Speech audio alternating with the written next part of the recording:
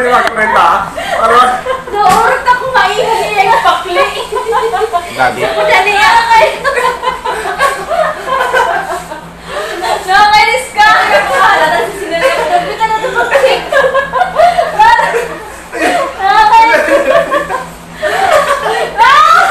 Ito lang, pinakiano ka man.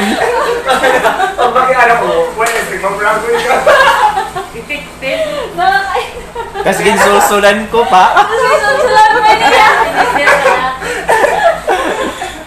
Mas Nea, ba't naglalakat ako? Naglalakad ako kay Kagi. Ano siya pa sa isip mo? Lo, isip ko. Nakakainis. Ano? Ito na ako. Super friend. Uy, pinahin talaga.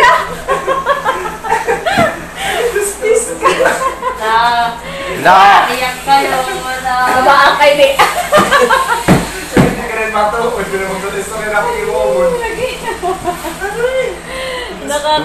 I realized this could be also a test of true friendship. In the workplace, there are different people who would either accept and believe in you, or those who would hate you for some reasons.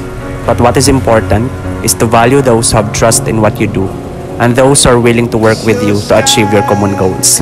Let us exert our effort in doing good things, and make sure to redefine our bad habits.